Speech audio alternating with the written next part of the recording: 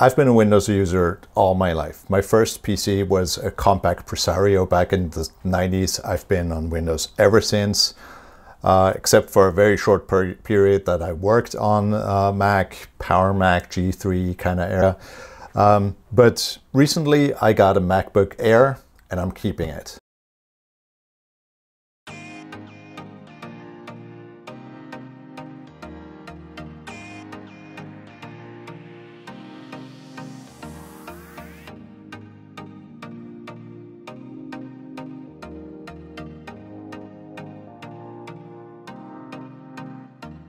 If you're a Windows user and you're tempted by the um, Apple Silicon machines, uh, then this video might give you a pretty good idea of what your first impressions are going to be. I've got a lot of notes. I've been using this for about two weeks now. Uh, and there's tons of stuff I like, tons of stuff that I didn't like, and that's going to take some time getting used to. So stick with me and uh, let's look at the MacBook Air M2. So first off, uh, about the issues with my Surface Pro, um, there's a few things that have been bothering me about it. Uh, while I generally love the device, uh, I have the Surface Pro 8 with the i5 uh, processor, 16 gigs of RAM, so it's kind of a mid-range, upper mid-range, I would say, uh, spec model.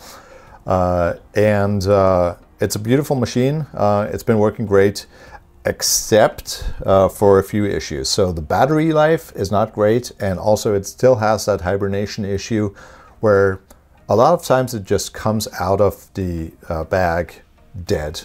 So it's warm, it's completely depleted, uh, and it comes out of the bag and with no battery. And I just, for a, a laptop, that's just unacceptable.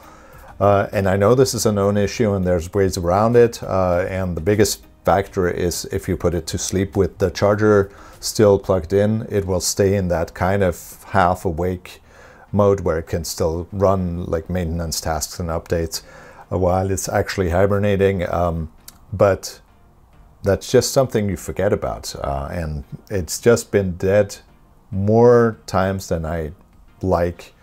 And even though this is my personal machine and not my work machine, this has been bugging me. Um, the other thing is that uh, I have shifted a little bit in what I do with my computer, so I don't draw on this anymore. So I don't need the pen uh, functionality as much as I used to. And uh, I've been uh, editing a fair bit of video on it, uh, and it, the performance is not quite there when it comes to video.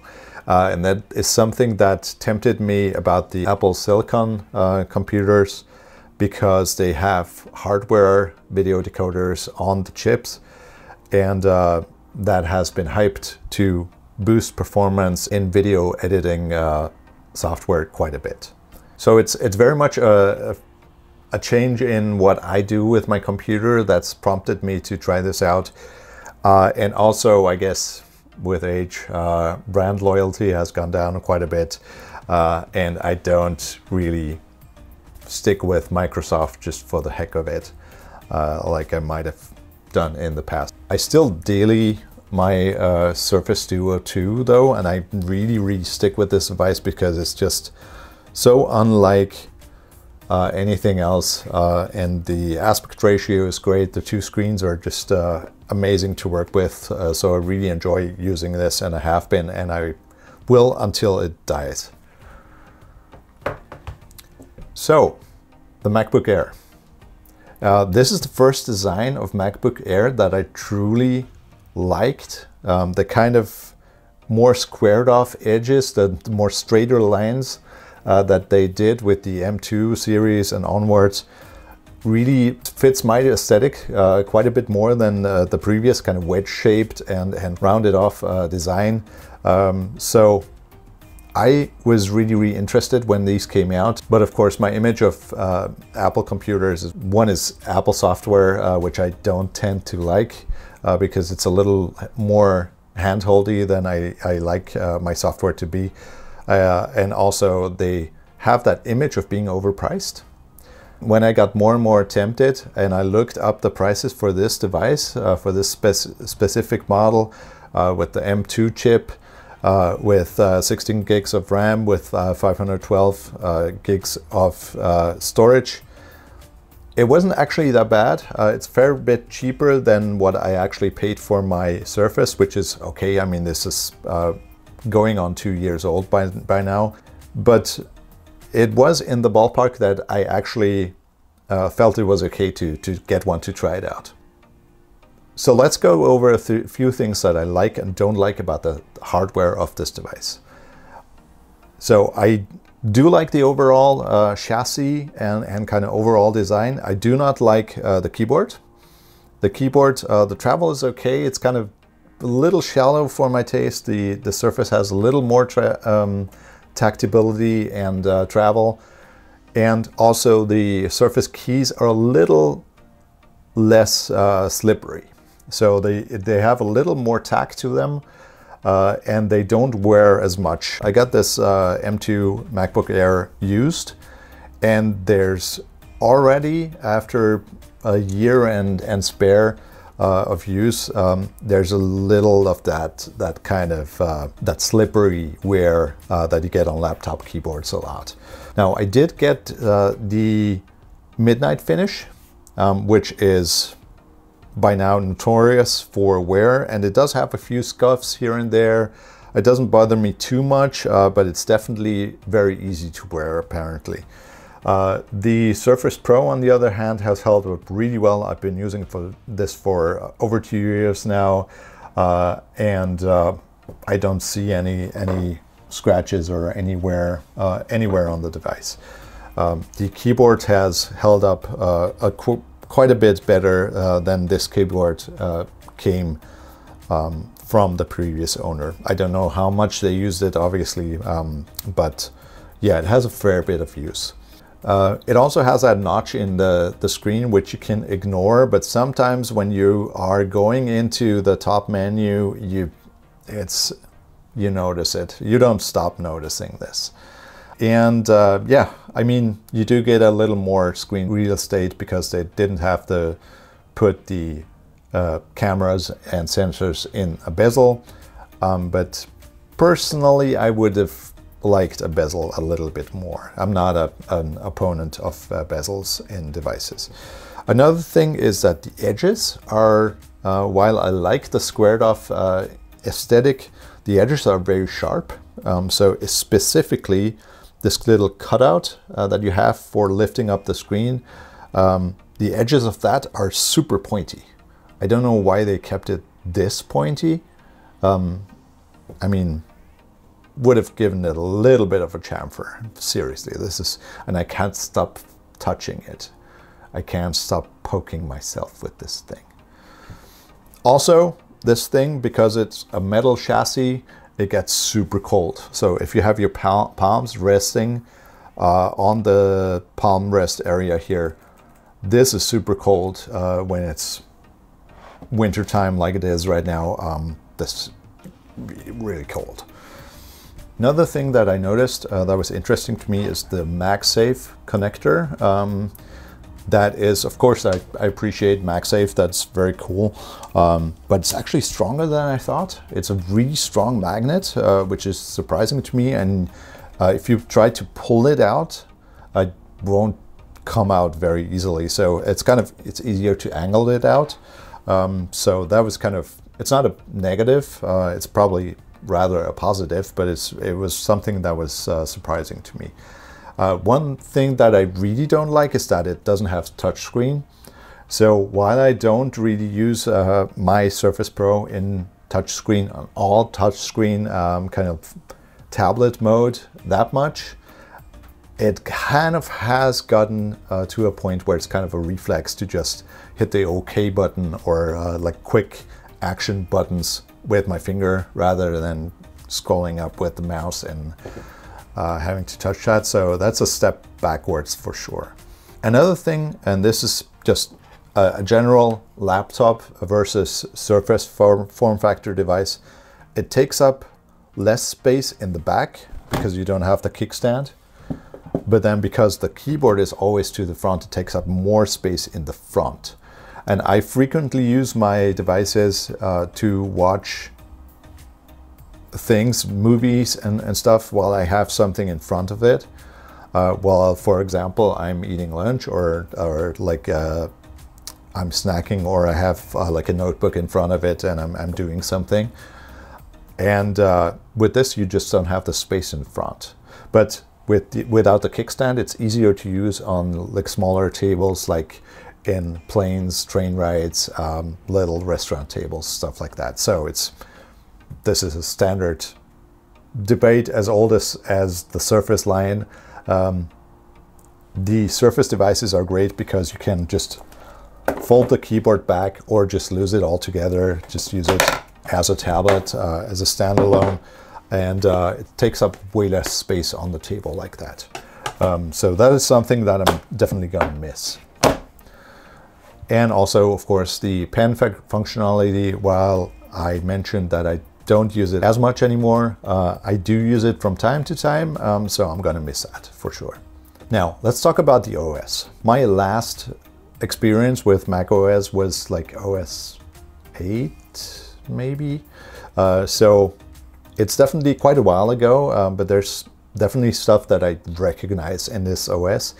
So I probably have a little bit easier uh, time adjusting uh, to all the quirks and, and like different ways of doing stuff uh, that then uh, a completely blank slate user that has only ever used uh, Windows PCs. Um, but here's some things that I noticed. One is switching over muscle memory, like keyboard short, shortcuts and just uh, the placement of the buttons has been super jarring. this has taken so long and I still hit the very oddly placed uh, caps lock key all the time when I mean, mean to uh, hit the control or command key. Um, so just uh, control C, control V is something that you do all the time on a PC when you're using it uh, on for daily use. And this is just something that is in an odd position here. So you have to go to the third button from the bottom left uh, and not the first one. And this just takes a long time um, to get used to. Uh, the other thing that is, is that one of the uh, function buttons, the actual function or uh, globe key, I don't know why it's the globe key, somebody tell me. Um, but like the function key uh, that, for example, you need for the emoji keyboard, um, is on the right side. So uh, you kind of have to remember, and it always takes me a long time to remember uh, the shortcuts for stuff like the emoji keyboard, uh, screenshots. Uh, so yeah, I miss uh, having all the, the function keys on the left side. One thing that I was positively uh, surprised with Mac OS uh, was that it's actually much more customizable than I remembered or that my my image of was. And I think that's kind of tainted by iOS because iOS is a little more handholdy. And while this is definitely handholdy, and I will get to that, um, it's actually more customizable than I uh, expected. So, for example, um, the dock, I hated the dock uh, in the way that it came out of the box. Um, you have these big icons on the bottom, which would be the taskbar and the start menu. And uh, they're just too big. They jump around when you open something and when, you, when it gives you uh, notifications. And, and like uh, when you have multiple windows or multiple items in one thing, like uh, the download folder, they come out in like a, this arc and they're just tilted, uh, which I hate. And overall, um, it's got a lot more skeuomorphism than uh, I expected by now. Uh, so it's a little more like 3D, uh, a little uh, more gradients and, and more like uh, things looking closer to their real world uh, counterparts than you would get in current Windows UI. but there is a fair bit of customization um, that you can enable. So for example, uh, something that I noticed right out of the, the box uh, is that the trackpad works differently uh, than on Windows. Uh, so I do like the trackpad. It's a, it's a fairly big uh, area. uh, and it has that, um, I, I, guess this is the, the force touch kind of functionality where it gives you the tactability of having actual clicks on there without having any buttons. And of course the Surface uh, Pro um, trackpad has that annoying, really, really loud click, which I don't appreciate. This is the only thing that bothers me about the Surface Pro keyboard. Uh, while it's otherwise great, it's uh, tactile, it has a little more grippiness to the keys and to the surfaces, and it doesn't get as cold. Uh, and it's a overall a really nice keyboard. Uh, but uh, yeah, that's nice about the trackpad. And uh, when you first try out the trackpad, um, when you have been using Windows, then you're probably used to just lightly tapping on the trackpad. And out of the box in macOS, that doesn't work. But there is uh, an option if you go into System Preferences and you look for the mouse and trackpad options, then you can enable that and uh, you have all the usual settings like uh, like uh, pointer speed and all that, uh, and uh, scroll direction um, and stuff like that. Um, what I noticed about the scroll direction is that it's the same for a mouse and the trackpad, which is stupid because on uh, the trackpad you're used to kind of like moving paper around with your fingers. Uh, so it's, it's uh, intuitive to for it to go up when you pull it down. Uh, but on mouses, um, the scroll wheel generally works the other way around. Um, so having that as the same setting is kind of jarring. So when I do use a mouse, it's kind of, my head is confused. Um, yeah, and another thing uh, that I had to customize right out of the box was the Bluetooth setting. Uh, there's no Bluetooth indicator in uh, the control center. Um, so the area up top uh, where your quick settings are, that's called control center on macOS. And there's no uh, Bluetooth indicator in there by default, so you have to add it. But you can add it, uh, which is good. Um, what I did notice about the Bluetooth functionality is uh, once you have that in there, you just open it up, uh, you click on your device, uh, which is in range, and you just connect. And it's uh, it doesn't go to that device by default like Windows does. Uh, so my, my Surface Pro, when I have uh, Bluetooth on, it often takes over my headphones, even though I'm listening to something on my phone. And that's been something that irked me. And I really do appreciate that macOS doesn't do that. Uh, another thing is that a few things that are missing from the OS compared to Windows. Uh, for example, Windows Snap. This should be standard on any OS uh, by now. Um, so in Windows, when you pull a window to the top, uh, it maximizes. If you pull it to the, the right, it takes up half the screen on the right, and you, then you can just you can snap it with uh, the Windows key and, and uh, arrow keys. You can uh, select different layouts um, from an area on the screen and, and stuff like that. And it's just very functional if you're multitasking and you have to, you want to have multiple things up uh, at the same time. And also the maximizing thing, I use that all the time. And uh, I just, I kept doing that and it didn't do anything on, on Mac OS and it was just weird. Uh, so I had to get an additional app to do that. The one that I use is called Better Snap Tool uh, and apparently was uh, previously uh, called Better Touch Tool, uh, but it's the same thing. Uh, and yeah, it works really well. and then of course you have the three window icons, so close window, minimize window, maximize window. Uh, and those are on the left side uh, rather than the right side on Windows. So this is kind of a trend. Stuff tends to be on the, on the other side of the screen um, for some reason. Um, so it's something that you have to get used to. Uh, overall, I feel like this uh, OS compared to Windows is a lot closer to mobile. Um, so you have that dock on the bottom, uh, which obviously is the same kind of thing that you have in iOS and Android. Um, and then you have uh, something that is called Launchpad, uh, which is your app drawer basically. And this is where all your apps go. This is fairly intuitive. Um, if you're using any mobile device, you will feel right at home, and I, I do like this.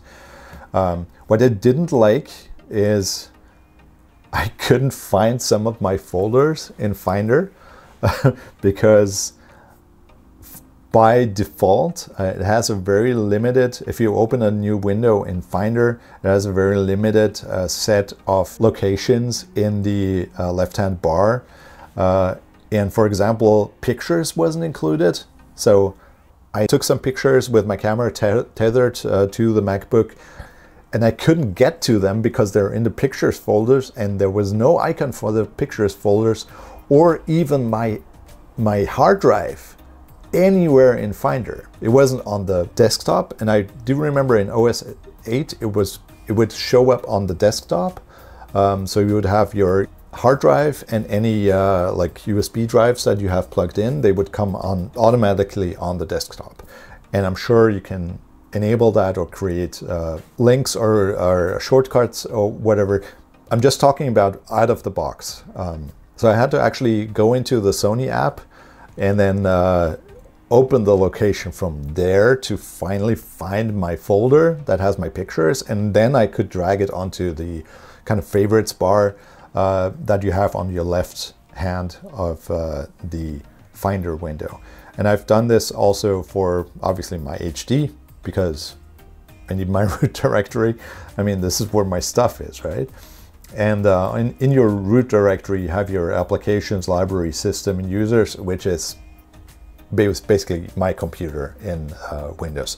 So this kind of trend of like hiding stuff from you, um, being very handholdy, this is something that I really uh, associate with Apple software, um, which has prevented me from getting stuff like iPads and and iPhones uh, from the very early days.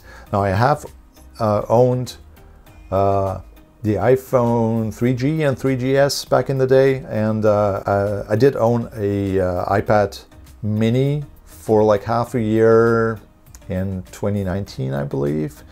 Um, and that was one of the big things that turned me off of it. Uh, the hiddenness of the file system and uh, the inability to do stuff my way. But as I said, um, macOS has so far been more customizable than I'm used to, and uh, I do, do like that.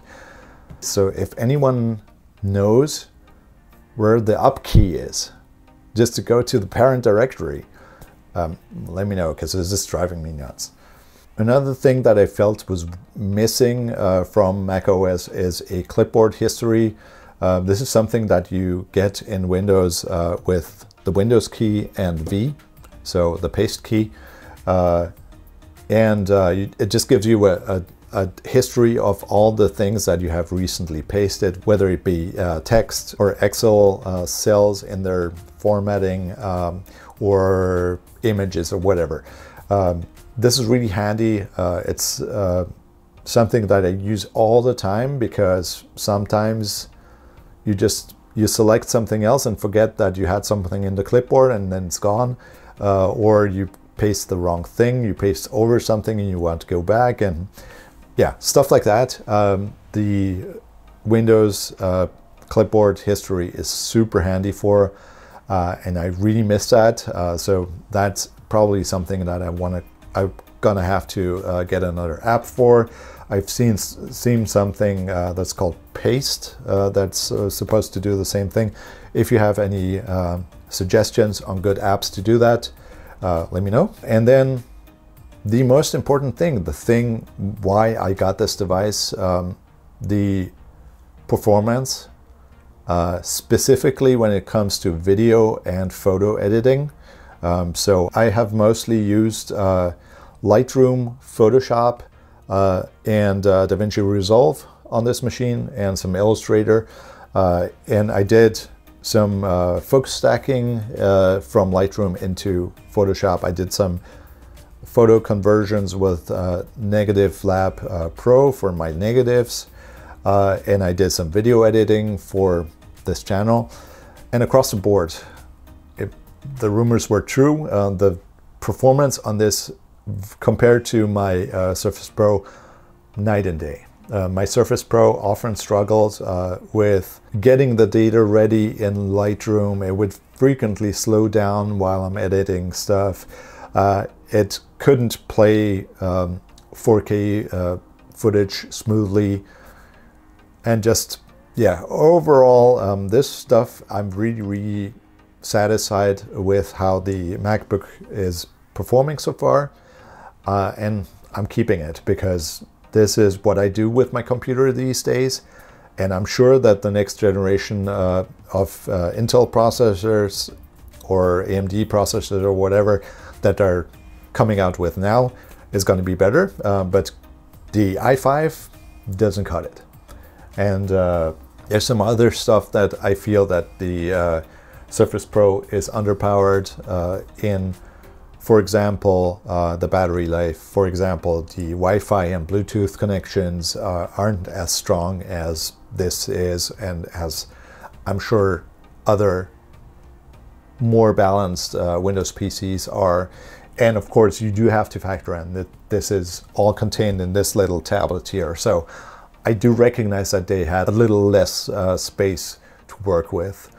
Um, but this is actually mm, feels thinner um, than uh, my Surface Pro with the keyboard cover on. Uh, it's pretty much exactly the same weight and for what I do right now, it's more suited. So yeah, I'm gonna miss the uh, tablet functionality. Uh, as I said, I'm gonna miss having it be more compact on the table. Uh, and uh, there's a few other things that I miss. There's the freedom of Windows because you are really free to customize everything and mess up stuff if you are inclined to do so. And uh, yeah, um, the, just the fact that I have to log in with like two or three different methods just to install an app on this. And it's asking me if I want to permit an app to access a folder that I just hit the open key to access. And that kind of stuff is just really mind-numbingly annoying on Mac OS. So I'm definitely going to miss uh, Windows in that aspect of just it treating me more like an adult. Oh, and something else uh, that I'm going to miss is the uh, Android phone integration with this device. Um, on Windows, you have uh, an app that's called Phone Link or, uh, or Link to Windows on the Android device. Uh, and paired with my Surface Duo. Uh, and uh, as far as I know, also Samsung devices. It gives you a lot of access into your device. You can actually mirror the screen really easily. You can access any of the notifications, any of the files on the device, or, or like the photos uh, on the device, or uh, any of the apps installed on the device, and super, super handy. Uh, fortunately, do have a Windows PC at work, uh, so I'm to be able to access that from work, uh, which is 90% of the time that I access it anyways. Uh, so I'm good in that respect. Uh, but that's gonna, something that I'm going to miss. but uh, yeah, uh, performance wise, this is night and day. And uh, I do really like the design language of the current MacBooks. And yeah, so far I'm happy with it. I'm sure there's going to be issues that I run into, but so far it's doing great. So that's uh, about it for my uh, honest first impressions after two and a half weeks of using this MacBook Air. It is the M2 version with uh, 512 gigs of uh, memory, 16 gigs of RAM, and uh, the 10 core graphics processor. And yeah, let me know in the in the comments. Have you made the same kind of switch? Are you interested in making the switch? Have you used any Windows devices um, that are kind of in this sleek, uh, thin, and uh, surprisingly affordable kind of form factor that you could recommend to me that I might be interested in trying out? Anything, just throw it in the comments. I always love getting comments. I, I love having a conversation about this stuff because this is kind of my passion. I just make these videos for fun and I do appreciate when people interact with them. And with that, thank you for watching, and I hope to see you again.